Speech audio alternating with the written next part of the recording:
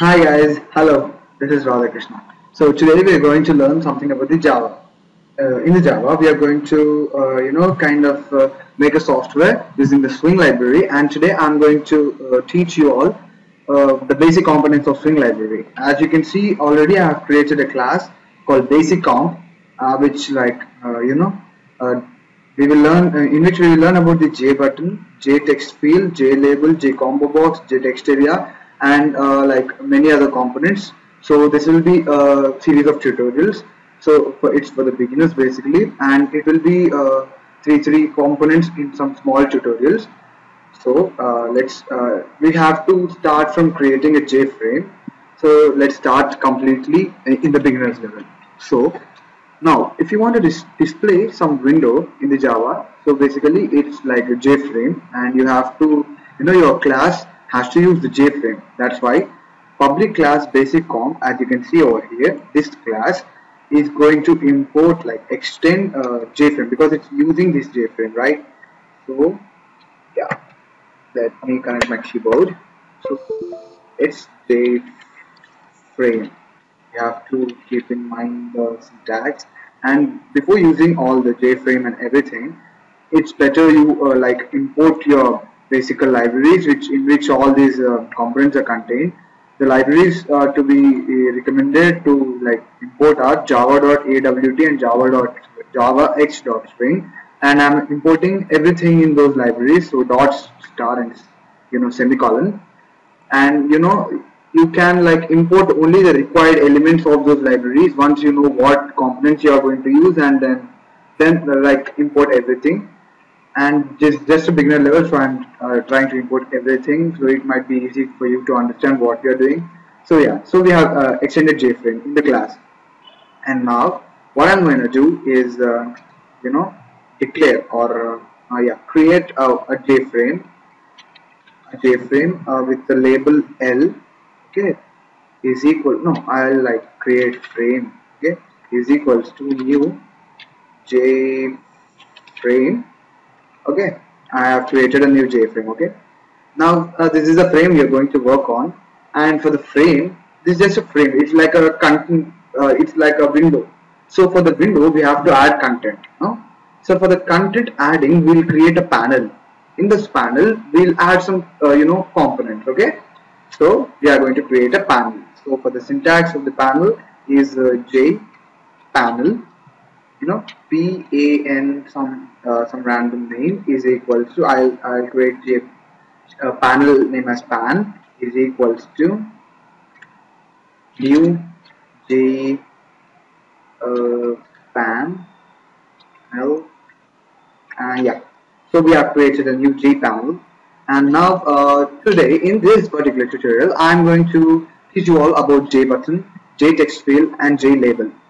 So let's uh, create a J button. Uh, this J button, com uh, you know, uh, command uh, creates a button on uh, which you have to add it on the panel so that it, it it's being displayed on the frame. So firstly, you have to add the button to the panel, add the panel to the frame, and set frame to be visible. Okay, that's the basic algorithm we are following.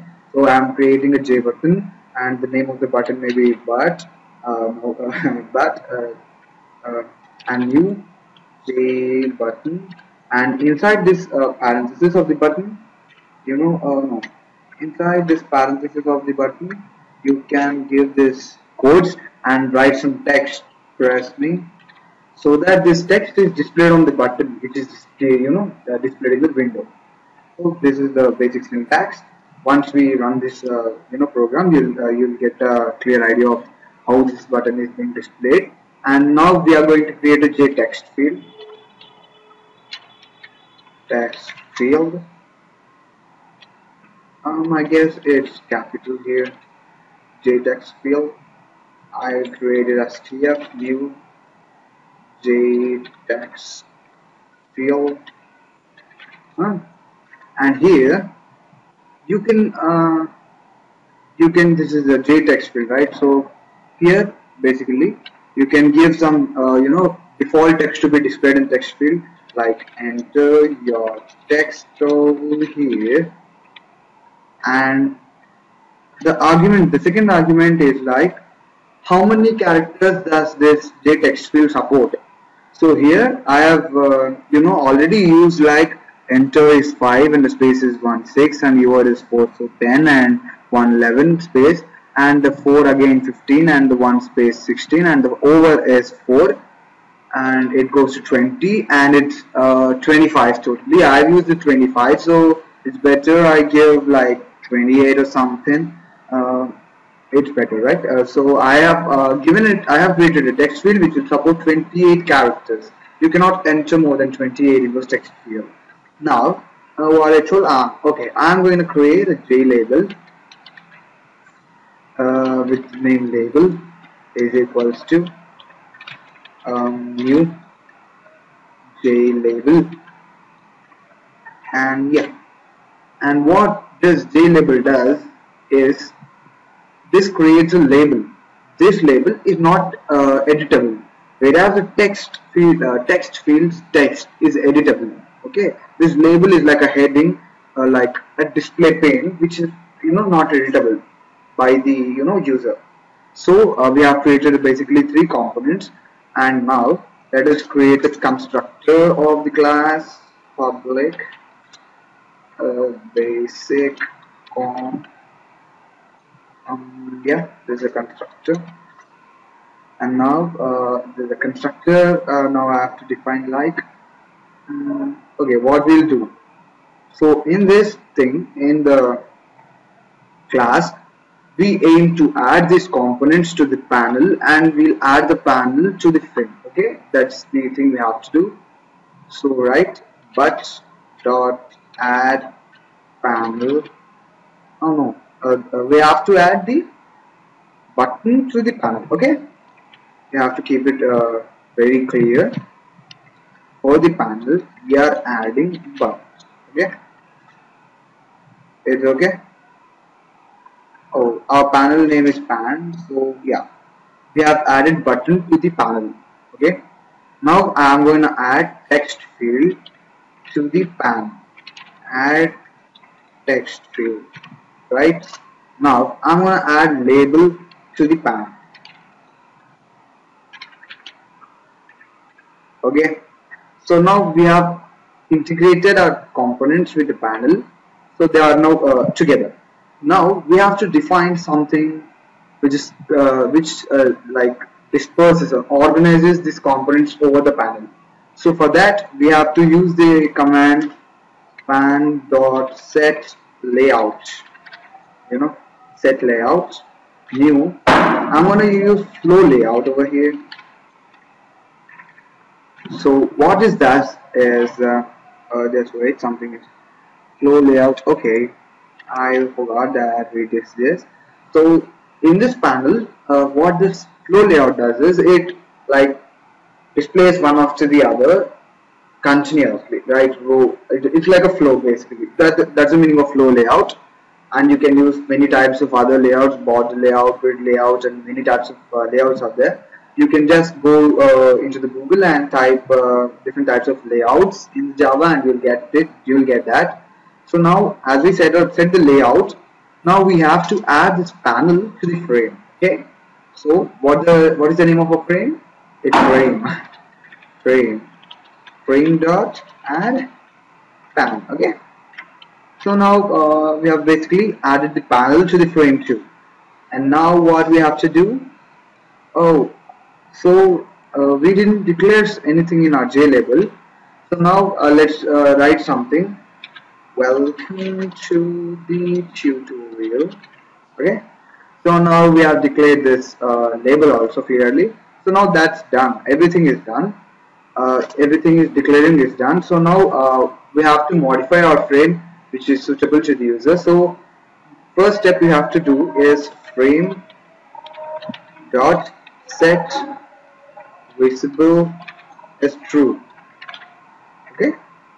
What this does is it makes the window to appear.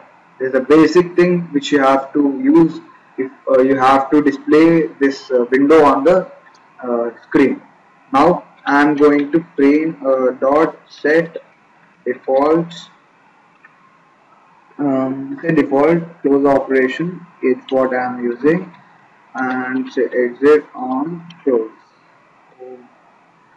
Exit on close okay so what this does is the window is there and there is an X button and when you click the, click the X button it will return exit on close. Exit on close is assigned a value in some integer and the integer is uh, returned to the set default close operation and the set default close operation closes the program. Okay? That's what this does.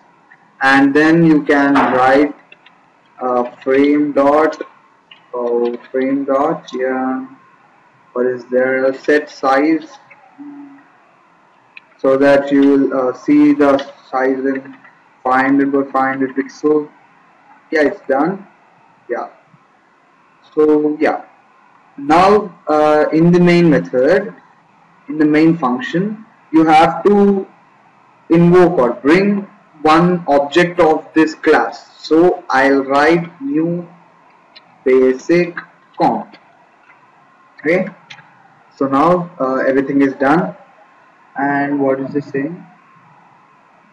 What does this mean? A new basic comp. This is the same thing. Uh, let me check it. So we are right okay I I it is uh, spelling mistake? Sorry. So yeah. So we have uh, declared everything and again what oh two C's three C's uh, sorry everything is mine mistake. So yeah we have declared everything. Now the uh, most probably this should run and let's see what will happen. Ah you saw it right? This is the J label and the window has been created. This is the button press me. As we have given in the parenthesis press me and this is enter your text over here which is the default text. And I'll see I'll go, I'm going to press 1 2 3 4 5 6 7 8 9 1 2 3 4 5 6 7 8 9 1 2 3 4 5 6 7 8 9 1 2 3 4 5 6 okay you can you can press any times and uh, accept only 28 things and uh, while uh, returning it to the program and this is the J label and when you press the X button it's going to close okay? So yeah this is the basic tutorial I wanted to give and you'll be seeing more interesting and more components in my next tutorials and thanks for watching guys. Uh, keep uh, you can subscribe this for you want if you want some uh, new tutorial when I upload it and you'll get uh, some notification in YouTube and it will help me and encourage me too. Bye